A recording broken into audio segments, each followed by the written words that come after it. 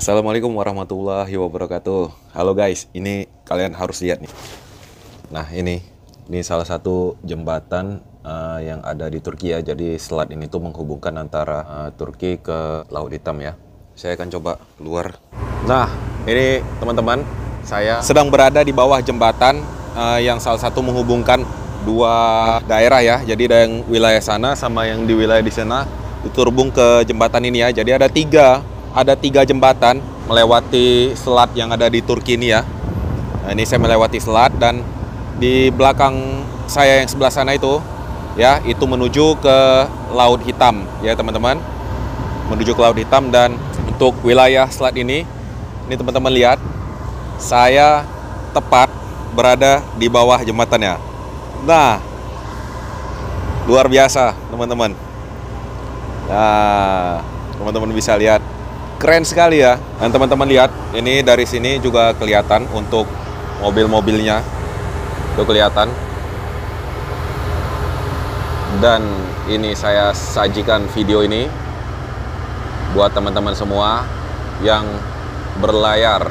Ini cukup bagus nih teman-teman. Jadi mobil-mobilnya itu, oke, saya coba zoom ya. Oh, tuh kelihatan untuk mobilnya. Widih, keren.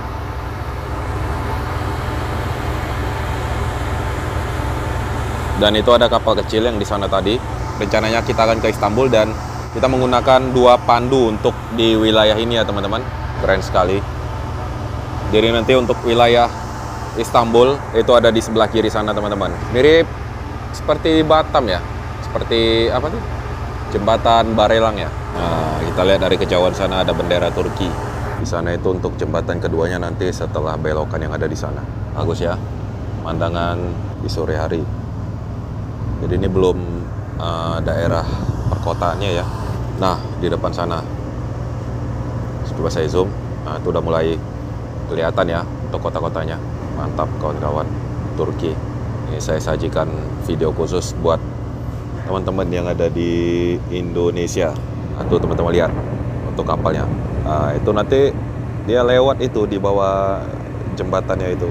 Itu di belakang juga ada kapal lagi tuh, yang satu lagi sebelah sana. Jadi kapal-kapal semua pada lewat ya di Selat Turki ini. Keren ya. Ya nggak kalah lah sama jembatan Suramadu ya. Assalamualaikum warahmatullahi wabarakatuh. Halo sahabat YouTube semuanya di mana pun anda berada.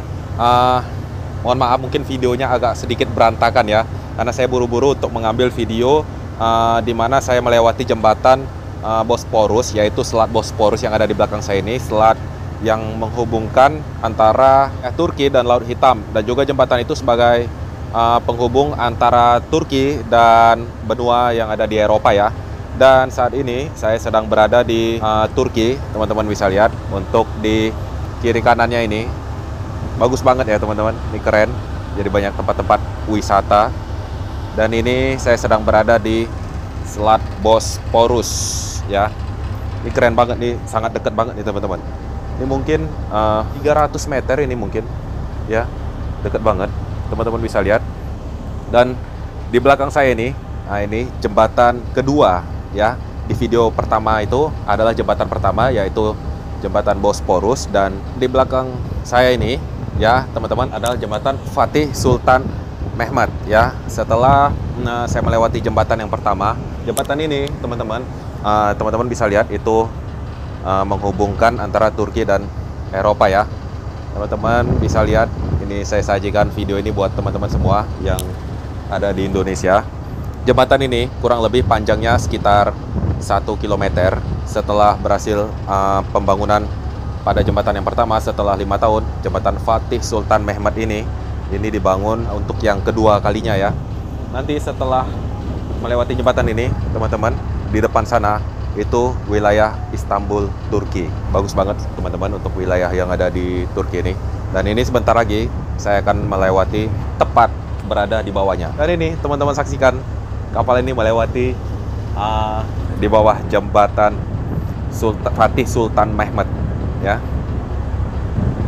Uh, keren sekali teman-teman.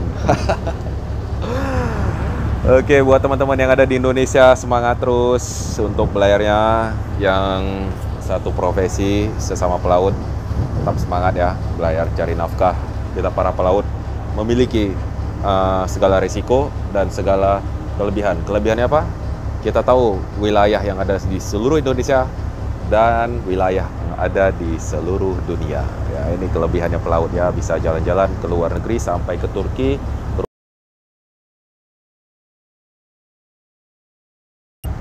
uh, satu kilometer dan di depan sana Istanbul, Turki.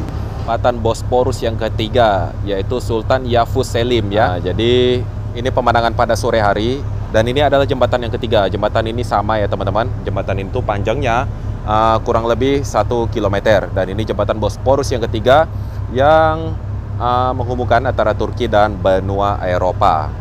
Itu ada bendera Turki yang ada di bukit sana. Dan sebentar lagi saya akan melewati bagian bawah jembatan yang ketiga ini. Ini saya melewati di bawahnya. Widih, keren. Jadi kapal ini melewati uh, jembatan uh, Bosporus yang ketiga. Jadi ada tiga untuk jembatan di Selat Bosporus ini ya. Balik layarnya, teman-teman.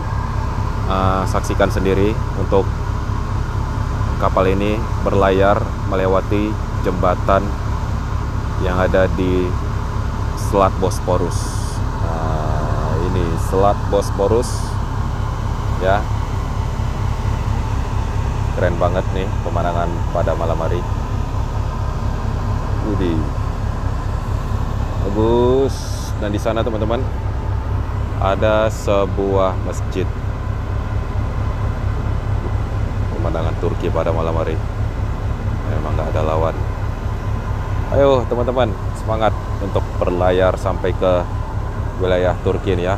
Kapal-kapal wisata ya. Banyak banget ini kapal-kapal yang melewati di bawah jembatan Selat Bosporus ini.